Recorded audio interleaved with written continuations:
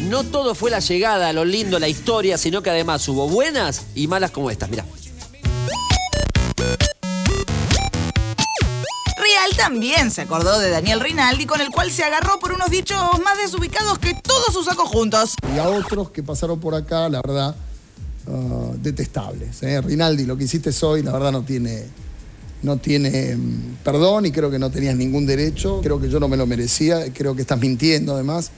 No sabes un carajo, no podés meterte con mi hija, no podés, digo, no puedes hablar de, mi hija sin conocer absolutamente nada. Nadie te dio bien en este entierro. Sos un boludo que necesitas cámara y te estás agarrando de este tema sensible. No tengo drama en que opiné sobre el tema.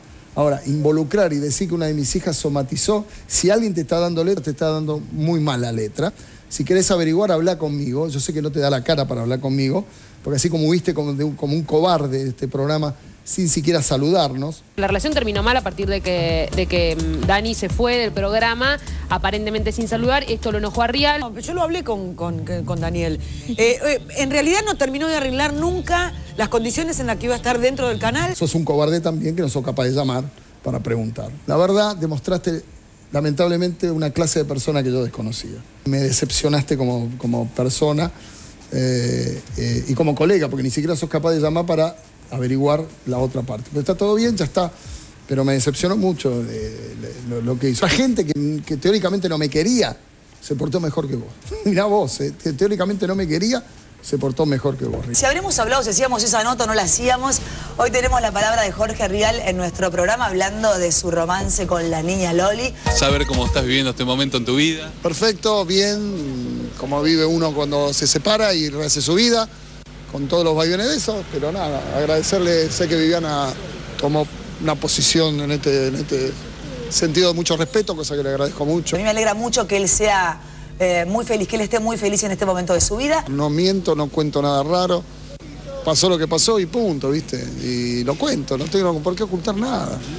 ¿Por qué ocultar algo que te pasa y que te hace bien? Eh, al contrario. Yo me enojé mucho la semana pasada cuando en Twitter decían que yo iba a traer a la mujer, a la ex mujer de Jorge Rial al programa. De hecho, hablé con mi abogada y le dije yo no tengo Twitter y por favor aclará en algún medio que no está invitada a este programa. Yo la verdad que quiero cero con ventillo. Bien, esto habla también de un crecimiento, de una madurez, de un avance, digamos que se puedan evaluar cosas a nivel personal, humanas, más allá de lo que fue la competencia o de lo que es la competencia en este medio, ¿no? uno está grande ya.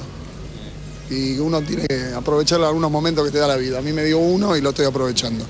Todo lo demás, hoy lo veo más chiquito. Me encanta que a Jorge le vaya bien, que esté feliz. La verdad es que hace mucho que no lo veía eh, en una nota, bueno, obviamente para nosotros mucho menos, y a mí me gustó verlo, verlo relajado y me gusta que la gente se enamore. La gente, digo, tu entorno y el público, ¿cómo respondió? ¿Qué repercusiones tuviste? ¿Qué opiniones? Y dividido, como toda la biblioteca. La mitad de la biblioteca te putea, la otra mitad dice que sos un fenómeno. Pero las opiniones que me interesan son los amigos, mis hijas, sobre toda la cosa. Está todo bien. Y de verdad que a mí me emociona un poco hablar, así que no sé qué voy a hacer después cuando lo, lo cuente, porque me, me revuelve, me remueve muchas cosas. Y fueron, fueron, fue una pelea muy fuerte la que yo tuve con, con él, eh, una pelea mediática, por seguramente un malentendido de nunca terminar de aclararlo personalmente, y después todo lo que ya conoce todo el mundo, pero la gente tiene que ser civilizada, tenemos que madurar, el tiempo nos tiene que pasar bien a todos. Mensaje para Viviana para cerrar la nota. Nada, lo que te dije antes, un, un beso, gracias. Sé que, sé que tuvo mucho respeto con este tema y cosa que le agradezco. Así que eso, un beso. Lo más lindo de todo, no sé qué opinan ustedes, es que cuando ves a un tipo o una mina con una sonrisa oreja a oreja, si está dentro del auto, de ventana a ventana, me parece que ya está, ¿o no? Otra piel, otro semblante. Igual yo nunca pensé persona. estar viva para ver eh, esas palabras lindas que se dedican Real y, y Canosa. Todo puede mejorar. Todo puede pasar. Todo Sí. puede pasar. Y es bueno que pase. Sí, también. es bueno, pero es El amor, increíble. el amor tiñe todo, pelado. Claro, porque vos de repente la estás pasando bien, tenés la sonrisa como decía oreja oreja, ¿qué La te vas a estar peleando Para los dos, ¿eh? de las dos partes, me Sí, parece que están enamorados, felices y, y ya está. Y hablando de eso, de los lindos vínculos, Sí. lo lindo que se llevan eh, Granata y Marengo, Y Marengo y Por Granata. favor, hoy a la Que nunca hay un quilombo, nada. Nosotros la tenemos medicada, Granata. Anda muy bien, anda muy bien. Dimos justo con la patita abajo de la mesa le hace así porque momento saca una patada karateca, pero estamos bien.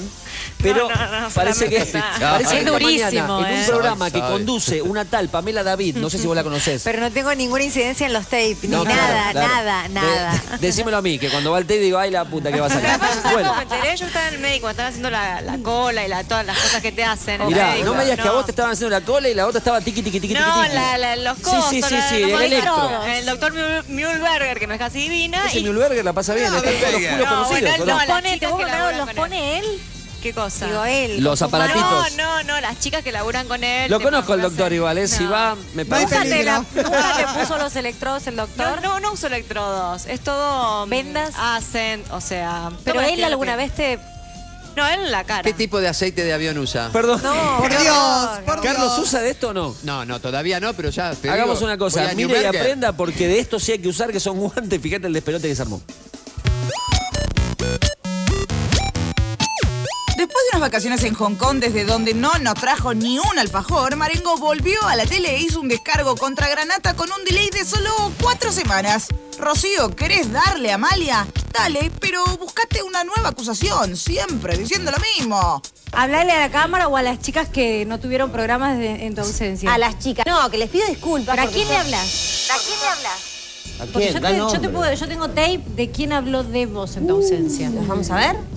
Y les contesto. vamos a ver. Por fuiste- ejemplo, Amalia Granata. Ah, a ver, te estoy tirando una livianita. Estoy tirando un pesado. No, no, tampoco es una persona con la que pueda tener una, una discusión interesante. ¿Qué puedo discutir con Marengo?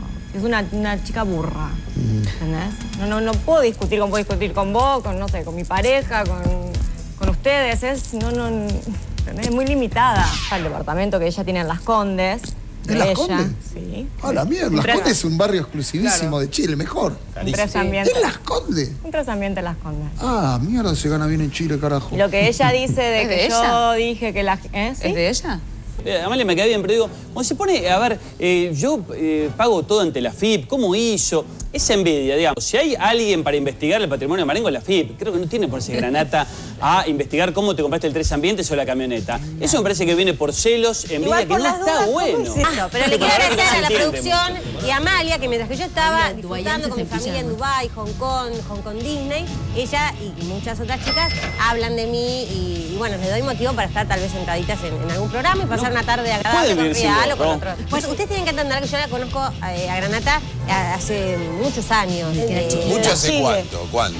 Un par de años, un par de... Ella eh, era otra, lo que pasa es que hoy es, es- es conductora, ¿no? Es conductora, hoy, bueno, es mamá, hoy es, es inteligente. Jurado. tiene cambió la imagen. humor- Hoy es inteligente. un humor bueno, muy inteligente, la es como imagen. una pergolín. Ella dice que es muy cool.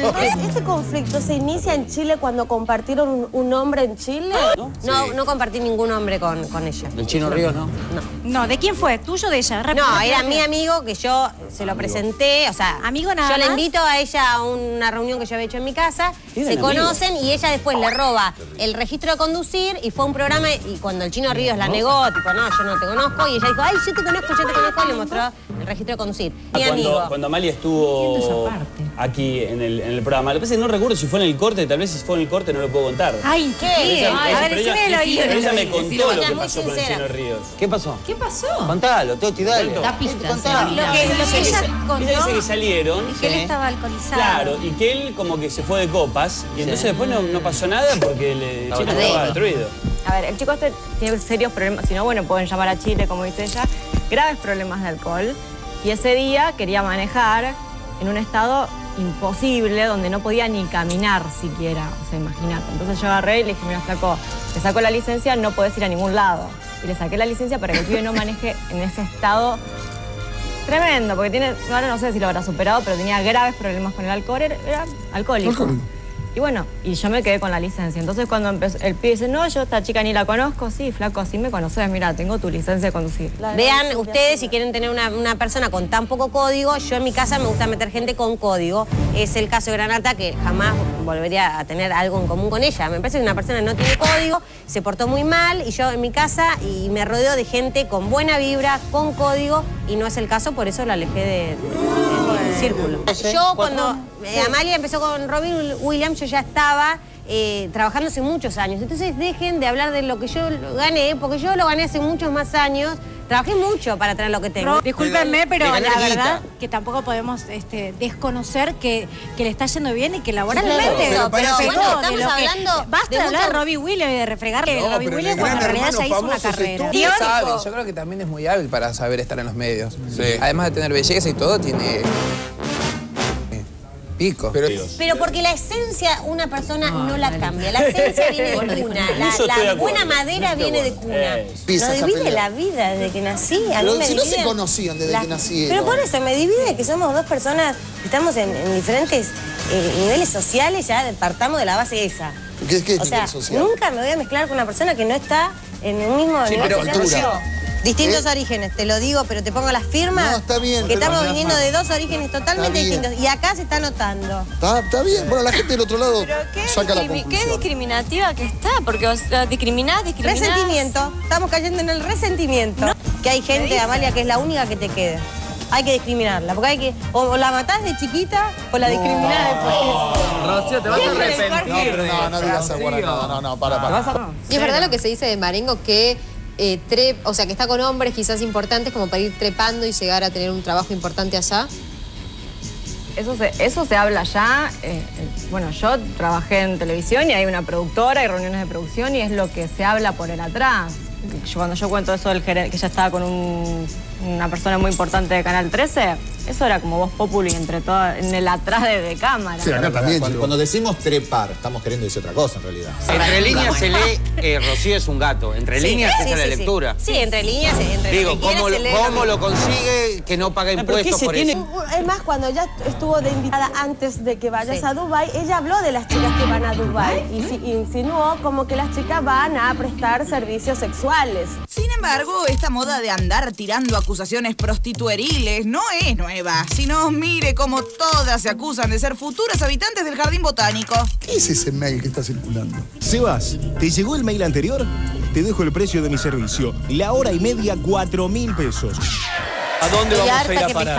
¿A dónde Tenía vamos a ir a parar? pedi- Te pido por favor no comentes nada a nadie. Mira que me caga en la vida si se filtra o algo. Para mí una barbaridad, sobre todo lo de 4 mil pesos por una hora y media. Escuchame. Porque con una No lo hora... valés, Andrea, no lo ¿Pero valés. por qué hora y media? No, No sé. digamos, es dos horas o una hora, ¿no? es una nueva modalidad. A mí nunca, nunca me cobraron por hora y media. O sea, ¿era por hora o era por dos horas, doctor? Ojo, que esto es lo importante y quiero aclararlo para que no quede mal. Cuatro lucas, normal. Convencional. Convencional. Hora y media. ¿Cuánto que cobra sé- más o menos una chica así conocida? Y yo lo que sé de una es De que una. anda a nivel presidente, si eso que cobra como 10 mil dólares. 10 mil dólares presidente. O sea, cuando hay una cumbre de presidente, No, se hace la Ah, escala. pero vos estás hablando de una chica que en algún momento se lo relacionó con... Sí. Sí. ¿Con quién? ¿Cómo? Con un presidente, presidente, del- Jorge. un expresidente de- del exterior. No que cae, vino acá no supuestamente. cae, ¿sabes que no cayó? Me voy a tirar en un rincón para saber de qué me están hablando. Hay un número ahí que, que figura como tarifa inicial del convencional, 4.000 argentinos. Es lo que cobraría esta chica. También, si te interesa, te dejo el link con el listado de las chicas con los teléfonos. Vale de Genaro, Noé Derek, Cintia Fernández, Gaby Mandato, Belén Lavallén, Daniela Cardone y las demás modelos. Aranceles VIP. Besos. Entre ellas, Nombra, claro. Gaby Mandato. Pero esos 4 mil pesos es lo que nosotras cobramos por presencias, generalmente en el interior del país. Ajá. Digo, ¿esto lo dicen por una presencia o por otra cosa? Convengamos que es un valor que yo no, pero ellas quizás lo están cobrando solo por presencia. Entonces me parece un, un cachet ilógico para, para Pero- relaciones, digamos. O sea, que Bueno, lo que te sorprende es que cobren poco y no que sean valor. prostitutas. Yo no pongo la mano por nadie. Con todo el respeto del mundo, ¿alguna vez te prostituiste? No, jamás. ¿Ofrecido? Que me lo han ofrecido, me lo han ofrecido en algún que otro momento. ¿Cuánto? La realidad, una vez que yo estaba en Carlos No, Paz, que ¿cuánto- hice cuánta público. plata? ¿Cuánta plata? por ejemplo? Un señor me ha ofrecido 10 mil dólares en su momento y yo me largué a llorar que estaba con mis viejos, ustedes me cargaron. Otra que no agarró. Bueno. 10 mil dólares parece ser lado. La, la verdad que me han ofrecido, eh, ¿Cuánto? bueno, ¿Cuál fue lo lo- máximo fue 10 mil dólares. Ahora, el tipo... ¿No venía- agarraste? No, no. Cualquiera de las chicas hoy en día que estamos trabajando en este medio, por un desfile, una presencia, una conducción, se cobra ampliamente más que ese número. Sí, está bien, pero no digan eso, no digan eso, porque queda No, pero para mal. tener un poco de lógica con, Pero el mail. bueno, pero por ahí es- son Kiss VIP. Bueno, está bien, pero conducir una- estás una hora y media dándole al micrófono y ya le das al decano 15 minutos. Claro, y tienen la plata. Voy a decir una sola cosa. Amalia va a responder con altura. Voy a decir la segunda. Dijiste el tape, pero lo primero que dijiste, Granata dijo y se armó un quilombo terrible. No la nombres más, te lo pido por favor. Ay, bueno, pero ella es así. Prende fuego, donde pasa, prende fuego. Pero es eso, ¿Qué va a hacer? eso es producto para el asado. Sí. Y sí. Vuelvo a lo serio que está pasando. ¿Te puedes bajar de ahí? Te lo pido por favor. Me pediste con altura, pelado. La otra vez le contesté desde la mesa. No, pero no, no, no Pero no es escúchame, seria, ahora- una madre no, bueno.